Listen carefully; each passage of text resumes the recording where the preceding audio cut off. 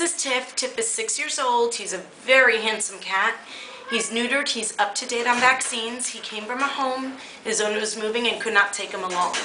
He's a little sad here at the shelter, but he's letting us pet him and get attention. He'd probably do well in a nice, quiet home, so you can give him all your love and attention, and I'll give it right back to you.